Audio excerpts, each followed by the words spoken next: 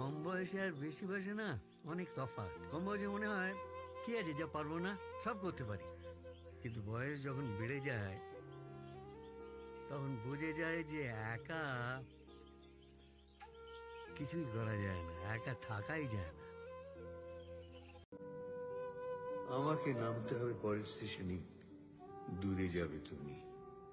দেখা হবে না আর কোনোদিনই। তাই যে প্রশ্নটার জবাব এতকাল থেমে আছে, শুনব তোমার মুখে। সত্য করে বলবে তো? আমি বললেম